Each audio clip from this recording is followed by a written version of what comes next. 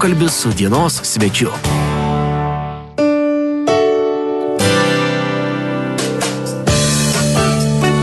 Rezu radio studijoje atėjo metas pokalbiai su dienos svečiu, na, o šiandieną mes kalbėsime su sėkmės mokytojumi Algirdu Karaliumi. Labadiena. Labadiena visiems. Kągi, apie jūsų pasiekimus ir mokymus pakalbėsime šiek tiek vėliau. Pradžiai paprašysiu, kad papasakotumėte mūsų visiems klausytojams apie save. Tiesiog prisistatykite, kur gimėte, augote, mokėtės. Na, aš tai gimiau Kazakstane, yra toks miestas Karaganda. Kodėl aš gimiau tenais, nors esu grinavėsis lietuvis, tai tiesiog todėl, kad mano tėtis buvo politinis kalinys ir tenais, va, jisai praleido savo geriausius metus, va. Tai gimiau Kazakstane, Karagando ir grįžau į Lietuvą galbūdamas 13 metų. Po to, ką po to įstojau į medicinos akademiją, baigiau medicinos akademiją ir va, jau gyvenu Lietuvoje daug metų. Taip, o dabar paklausiu, kada ir kas jūs pastumėjo būtent gilintis į saviugdos mokymus? Ai, tai pirmą kartą, ko gero, toks pirmas postumis buvo tada, kai aš perskaičiau tokią knygą Pikėlio. Knyga buvo tavo galimybė žmogau. Tai turbūt nežinau, gal man buvo 10 ar 12 metų. Na ir man patiko labai, kad ten buvo parašyta, kad nesvarbu, kaip tau sekasi moksluose gyvenime, jeigu tu išmoksi to, ką moka sėkmingi žmonės, tai tu gali irgi tapti labai sėkmingu. Va. Tai ir su ta tendencija ėjau į mediciną studijuoti, nes tikėjausi, kad medicinoje viską sužinosiu apie žmogaus paslaptis. Bet būtent medicina sužinojau, kad medicina labai mažai ką žino apie sėkmę, nes medicina viską žino apie lygas. Ir todėl nutariau vis dėlto nesusėti savo gyvenimu su medicina, nes mane labai labiau domino ne ne lygos, o nuo super sugebėjimų. Tai jau baigęs medicinos akademiją, išėjau studijuoti tokį neurolingvistinį programavimą ir vat nuo to viskas ir prasidėjo. Įkliuvau į tą liūną tokį sėkmės tos psichologijos ir jau 20 metų, ko gero, vat plaukia tose vandenyse. Dabar jūs mokote kitus ir paklausiu, pas kokius mokytojus mokėtės pats ir kokie jums paliko galbūt didžiausią įspūdį? Na, vat mano tokia vat išvada, aš tokia padariau, kadangi pats esu nelabai koks mokinys, tai supratau, kad jeigu tu mokysis pas blogą mokytoją, nieko neišmoksi, dar tik pablogės situacija. Jeigu mokysis pas gerą, tai bus, na, gal visai neblogai, bet mažai ką išmoksti. Tai jau reikia pas patį geriausią. Tai vat aš nutariau mokytis pas pačius geriausius ir atkeliavau apie 50 pasaulio šalių, ieškodamas tų pačių geriausių mokytojų kas man asmeniškai labiausiai patiko, didžiausią įspūdį paliko, tai, na, labai da, daug yra. Vienas iš jų tai yra da, dr. Lozanas. Tai yra žmogus legenda, kuris pirmas atskleidė pasauliui tokį dalyką, kad muzika, Mozartas e, veikia žmogaus sugebėjimus ir jisai sukūrė tokią sugestopidiją mokymą, kaip galima greitai mokyti įvairių dalykų. Jisai buvo ir pradininkas visame pasaulyje greito mokymų. Tai va aš, man pasisekė, aš buvau pasi, paskutinis jo mokinys ir, ir, ir, ir va tai, ko gero, didžiausia man padarė įtaką, jeigu kalbėti apie mokymą. Toliau mokiausi pas Dominiką O'Brieną, aštuonis kartus pasaulio čempioną atminties ekspertą. Toliau mokiausi pas Tony Buzaną, po to pas uh, Anthony Robinson, na, turbūt tų mokytojų labai daug, labai daug. Va, ir aš galvoju, kad jeigu renkiesi mokytojų, tai tiesiog reikia paimti patį geriausią, jo labiau, kad šiais laikais nėra jokių problemų. Nuskrendi kur nors į Afriką, į Australiją ir ateini pas geriausias, kai nori mokytis. Ir jie kažkaip su malonumu dalinasi tą patirtimį. Aišku.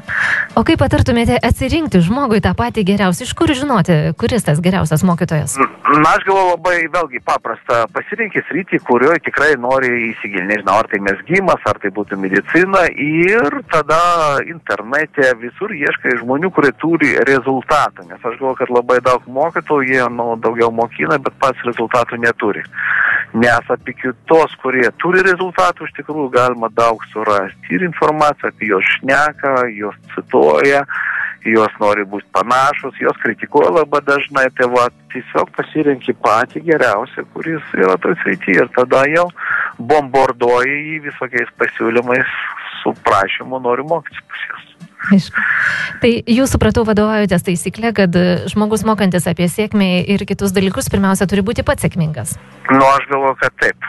gal kitose srityse tai nėra taip jau būtina, bet sėkmės psichologija, nu, tai turi būti žmogus savo srities numeris vienas. Aš galvoju, ne numeris du, ne numeris tris, numeris vienas. Nes, nu, tik pas jį ir galėtų kažką išmokti tikrai žymiai daugiau negu kitur. Ir sutaupysi laiką savo. Aišku.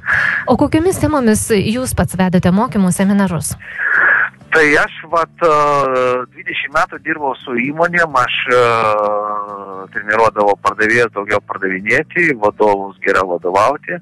Vat, ir ta, kaip grinai jau sėkmės psichologija, tai jinai visiškai nauja tokia sritis Lietuvoje plamai atsirado ir, ir vis daugiau, daugiau žmonių pradeda to domėtis. Tai vat pagrindinė tema, kurią vat mes jau ypač krizės metais pasitėm, kad buvo labai aktuali, tai yra atkaklumas, atsparumas sunkumams, nes atsparumas, va, tai žinot, labai lengva būti sėkmingu, kai viskas sekasi, kai rinka auga, kai visi sėkmingi, turi daug pinigų, bet viskas pasikeičia, kai viskas sugriūna. Tai aš galvoju, kad ilgalaikė sėkmė nulime būti atkaklumas. Tai vat, pats populiariausias ir pats sėkmingiausias mūsų programų tai buvo atkaklumo gale kuri iš tikrųjų universali tokia, ar tu namų šeimininkė, ar tu verslininkas.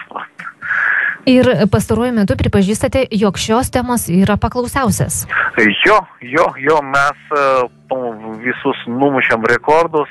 Krizės metais, kaip pamai seminarų, tokia jau situacija pasikeitė labai. Tai virš 10 tūkstančių žmonių atėjo į mano seminarus tik per vienus metus. Tai mes darėm visoje Lietuvoje ir aš galvoju, kad tai iš tikrųjų tai ne tik absoliutus rekordas, bet ir parodo, kad žmonės kaip niekad sukmečiu, nu, pradeda galvoti apie kitus dalykus, apie savęs tobulinimą, apie, apie, apie asmeninius santykius, apie aplamai sėkmę. Aišku. Ar žmogus gali, pavadinkim, valdyti savo sėkmę, būti jos šeimininku? Na, aš galvoju, ir gali, ir negali. Va, todėl, todėl, kad jeigu žmogus šventai tiki, kad viskas jo rankose, na tai kažkaip jisai ir vis daugiau, daugiau daro tos įtakos. Va. Bet visuomenė yra daugiau susiformavus tokia nuomonė, kad, na, tu esi mažas toks sraigtelis, mažai čia kas nuo tavęs priklauso. Va, ir tai yra tokia visuotinis toks presingas. Žmonėms nori įrodyti, kad jie nieko negali. Nei įstatymai negali jų apginti, niekas. Tai o todėl aš galvoju, kad daugelis žmonių serga tą bejėgiškumų lygą. Uh, lyga, jinai tokia apimanti visus ir, ir per žiniasklaidą, per visus, jinai dėja labai greitai kaip virusas išplinta ir todėl daugelį žmonių, ypač krizės metais, jaučiasi visiškai neįtakojantis tą likimą. Bet aš galvoju, kad yra netiesa. Aišku, daug yra nuo mūsų nepriklausomų dalykų, bet kiekvienas žmogus, tai jo prigimtinė teisė rinktis, kaip elgtis, ir aš galvoju, lietuviai malaičiai, nes jie net ir sunkmečių vis dėlto nepasiduoda, kažkur ieško, tai vis dėlto, galvoju, kaip tauta mes esame labai atkaklus ir, ir tai, nu, daug optimizmo, man atrodo, turėtų mums visiems tiekti. Mes esame labai stipri tauta. Kągi, bent jau tai džiugina. O ką galėtumėte patarti mūsų klausytojams, norintiems prisivilioti sėkmę, nuo ko reikėtų pirmiausia pradėti? Na, aš galvoju, pirmas žingsnis tai yra svajonė. Mums reikia vėl išmokti svajoti. Ne fantazuoti, o svajoti. Ką tai reiškia? Žmonės, na, vaikystėje moka ir mėgsta svajoti, vad bus kosmonautais, vad apkeliaus visą pasaulį, laikų bėgant, tampa realistais, O ką tai reiškia realistas? Tai yra pesimistas, kuris jau nebetikė nieko ir nustoja svajoti, o kai nėra svajonės, nėra motivacijos, nėra, nėra nieko. Aš galvoju, pirmas žingsnis visiems, čia nesvarbu, ant kiek tu sėkmingas, tu turi padaryti didžiulį sąrašą viso to, ko tu nori turėčiame gyvenime. Dar geriausia tai už, ne tik užrašyti, bet ir nuotraukas, žinot, tokią svajonę albumą padaryti. Va, dar geriausiai įtraukti visus savo artimuosius, bent jau artimiausius žmonės, šeimos narius, kad jie irgi prisidėtų prie nu, bendros šeimos svajonės. Ir tai pirmas žingsnis, nes kai mes, ypač kai būna sunku, pradedam galvoti apie tai, kokį mes norim, tai nu, atsiranda kažkaip ir motivacijos, ir, ir, ir, ir, ir, ir, ir visų kitų dalykų. Be abejo, sudėti datas, kada mes norim tai padaryti.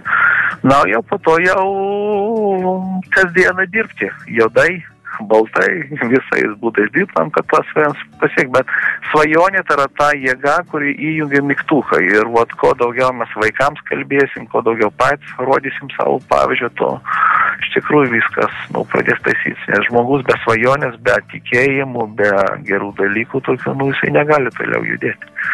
Tokia prigimtis mūsų. Tai aš galvoju, pirmas žingsnis svajoti, išmokti svajoti. Ir niekam neduoti, kad pavoktų tą svajonę, nes yra daug norinčių čia pat suniekinti, iš, pasijokti iš tavęs. Tai va, tokiems reikia šelbaną duoti ir nebendrauti su jais. Tai va, svajoti yra apginti savo svajonės, mes visi turim teisę svajoti ir turėti visą tai realiam gyvenime. Ir realiame gyvenime galbūt dažnai mes patys vaikams ir užkertam tarsi tą svajonę, sakydamas, jog baig svajoti, baig skraidyti padebesiais. Taip, taip, taip. Ir, ir dėja, žinot, vat, vaikai, jie nelabai tiki, ką sako jiems tėvai. Jie daugiau tiki to, ką jie mato. Ir jeigu vat, mes žiūrim, kad po tokia patirtis rodo, kad kai vaikui dar mažam duodi užduotį ten surašyk savo svajonės ar pasakyk, jam jokių problemų nėra. Bet kuo vyresnis žmogus, to jam daugiau problemų. Suaugęs žmogus geriausia tu 3-5 svajonės. Ir tai nesvajonės, o tiks tam įsimokėti paskolą dar turi. Na, tai iš tikrųjų tai nėra geriausias pavyzdys mūsų vaikams. Nes vaikai galvoja, o jeigu jūs suaugę žmonės, tvirtai stonys ant ko nebeturit svajonių, tai ką jau man mažam vaikeliu, ką čia svajoti. Tai aš galvoju, mes turim nešti atsakomybę ne tik prieš savo svajonės, bet ir prieš savo vaikų svajonės, nes mes e, nesvajodami atimam iš jų didžiausią nu, gyvenimo džiaugsmą. Tai aš galvoju, mes net ne vien tik dėl savęs, bet dėl vaikų turim vėl pradėti svajoti kitaip, nu kam čia tada gyventi, jeigu mes neturim svajonės. Kągi su šia mintimis apie svajonės baigsime mūsų pirmąjį paaiškinkėsi ir primenu klausytojams, jog po keletus muzikinių kūrinėlių mes vėlgi e, susisieksime su sėkmės mokytoju Algirdu Karaliumi ir tęsime mūsų paaiškinkėsi. Pokalbis su dienos svečiu.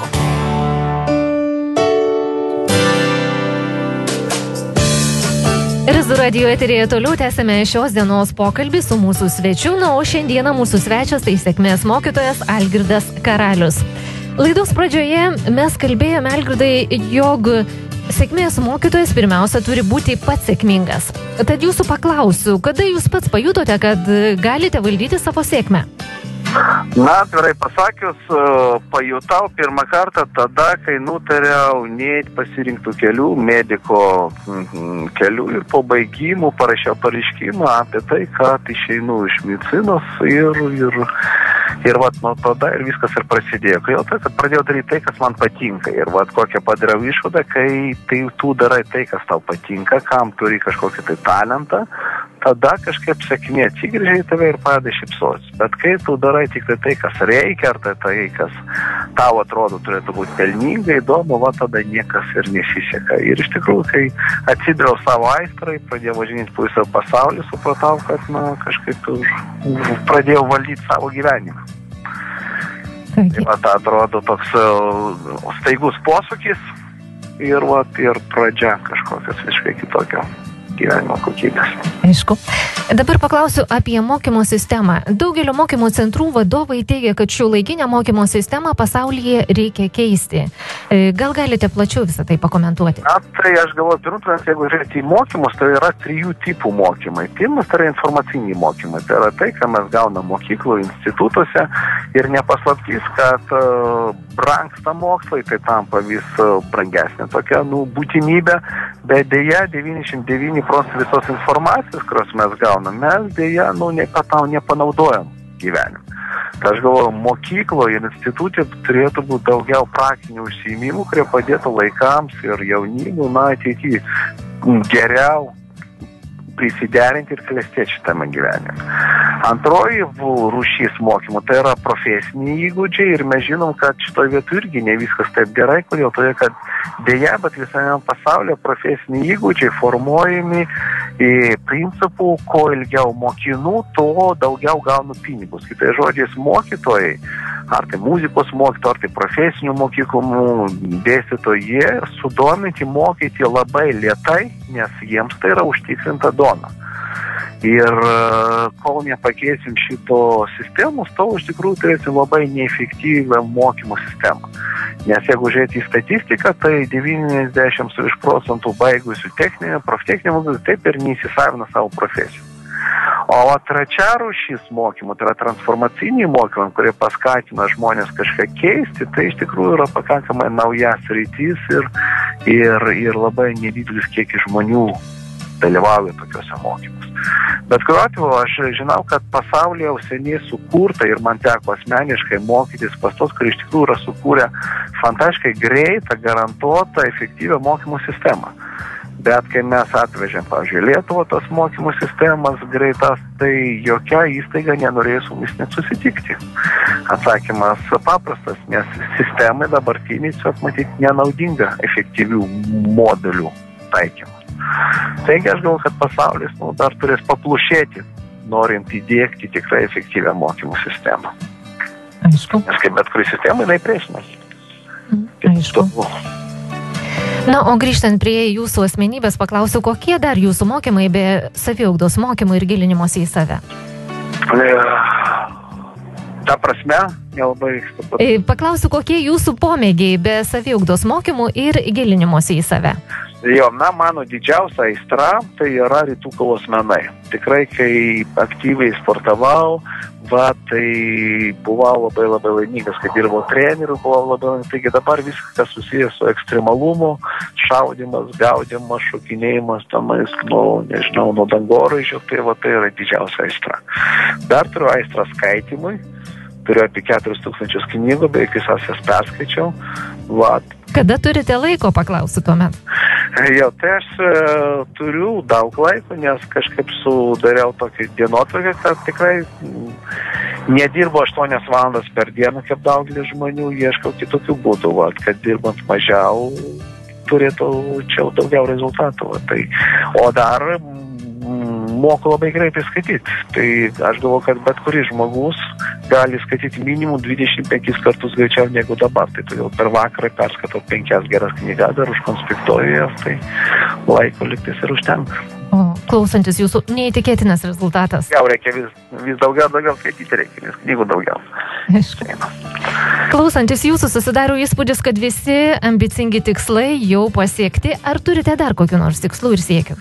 O žinot, atvirkščiai, jeigu po, pasižiūrėti mano sąrašą tikslų, tai kaip tik po toliau to vis, uh, reiškia, Jie didėja? medinimas tikslų jau mažėja procentaliai. Todėl Ar tai tikslai per ambicingi tapo, bet ką supratau, aš galvoju, tai yra kiekvienam naudingas toks vat, požiūris, kad sėkmė tai nėra vien tik tai rezultatų turėjimas. Sėkmė tai yra visas procesas. Ir, ir mano geriausi mokytojai sakydavo, kad žmogus turi turėti tiek tikslų ir toks, kad tikrai negalėtų gyvendinti per šį gyvenimą. Kitaip, nu, neverta buvo gyventi, jeigu tikslai tau visi pasiekti, jie dažniausiai būna neambicingi. Tačiau aš galvoju, kad tikra sėkmė tai yra ne tiek turėjimas rezultatų, kiek toks labai uh, toks aistringas ėjimas link tikslų. Ir tų tikslų turi būti tiek daug, kad tikrai žinotum, kad susimausi, neįgyvendinsi visus. Bet per savo gyvenimą galėtum pasakyti, wow, nu jau tikrai jau paturėjau laiko gero. Tai žodžiu, pats e, tikslo siekimas procesas patinka. Procesas jo ir, ir, ir tada jisai toks nepersa, nu, nu, tu neturi sustoti, tai tik gyvos galvos ir dar po mirties turi siekti kažkokių tikslų. Tada iš tikrųjų išlieka ir motivacija, ir rūpas gyventi, ir džiaugsmas išlieka. O ar negali taip atsitikti, kad žmogus, jeigu, tarkim, nepavyksta įgyvendinti savo tikslo, kad jis nuleis rankas ir toliau jo nebesieks? Be abejo, tai daugeliu nutinka, tai vadinasi dar išmoktas bejėgiškumas. Ir tai didžiausia lyga, tai yra maras 21 amžiaus, kad mes visi norime būti sėkmingi, bet kai pradedam Ir greitai sėkmingi turbūt, ar ne? jo ir norim greitai, ir daug, ir, ir, ir viskas, kad vienu metu būtų. Ir kai matom, kad nepasiekėm tikslų, tai padarom dvi išvadas. Viena, kad, na, matyti, esam nevykėliai kažkokie, o antra, kad savęs nekamuoti, tai nenustojam statyti tikslus. Galvom, ai, kaip ten gyvenimas duos. Tai aš galvoju, tai yra pati didžiausia mūsų problema. Bet gera žinia, kad, nu, su to galima susitvarkyti mokėjimas vat, susidūrti su nesėkme tai yra kaip ir raumenų jėga. Jie galima treniruoti, galima išmatuoti ir kiekvienas turėtų tai daryti.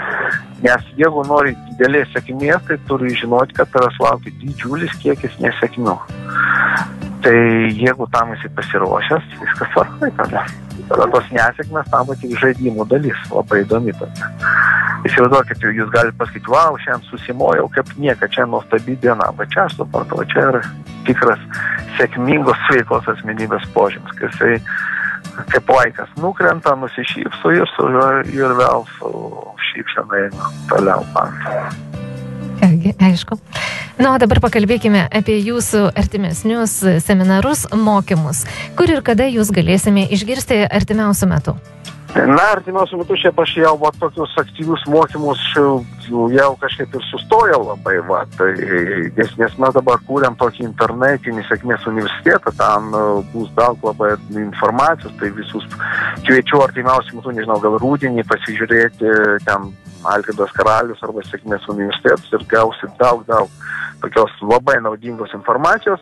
O dabar artimiausiu metu vat, vienas iš mano tokių o, studentų labai buvo įkvėptas atkaklumo galios seminarų ir privertė mane grįžti į tą aktyvų seminarų vedimą ir mes 22-23 dieną tarpinį tokį turėsim super seminarą apie būtent apie atkaklumą. Mes jį išmatuosim, mes jį tenais uh, uh, išdėliosim į dalelygas tokias ir išmoksim tą atkaklumą tobulinti. Čia aš galvoju, kas norėtų, va, tai gali į saviauglos mokyklą internete surasti, ten žmonės organizuoja labai aktyviai, tai va tenais visi informacija. Mes čia dar turėsim šiandien ir rytoj, šiandien Kaune, rytoj Klaipėdoje tokį trumpą vienos valandos, bet tokį irgi tokį susitikimą. Va, tai, tai tiek, bet aš galvoju, kad geriausia, kas domisi, tai tiesiog internete pasieško savildo mokykloje, ten bus visa informacija. Kągi, aišku. Ir, ir per internetą tikiuosi labai daug mūsų tikslas daug, daugiau žmonių įtraukti į tą sėkmės liūną tokį ir suteikti daug naudingos informacijos, tai jau greitai lietuviai galės jau pilnai pasinerti tą dalyką. Kągi, ačiū Jums už pokalbį na, ir pabaigai dar paprašysiu Jūsų palinkėjimo RS2 radio klausytojams. Na, aš noriu visiems palinkėti tokio vat, paprasto dalyko, kad kiekvieną rytą atsibūdus mes padėkotumėm Dievui už tai, kad mums dar padovanota viena diena ir, ir kad mes džiaugtumėmės, nes vat, pasaulis, nežiūrint į nieką, yra nuostabus, yra didžiulis vat, nusikaltimas, nepasidžiaugti kiekvieną akimirką, tai linkiu visiems daug, daug džiaugsmų kad 24 valandas per parą mes būtum labai laimingi. Kągi, ačiū Jums už pokalbį, viso ko geriausio, na, klausytojams priminsiu, jog apie artimiausius seminarus pasiklausyti sėkmės mokytojo Algirdo Karaliaus smulkesnį informaciją galite rasti internetinėme puslapyje 3w.saviugdosmokykla.lt. Na ir šiandieną mes kalbėjome su sėkmės mokytoju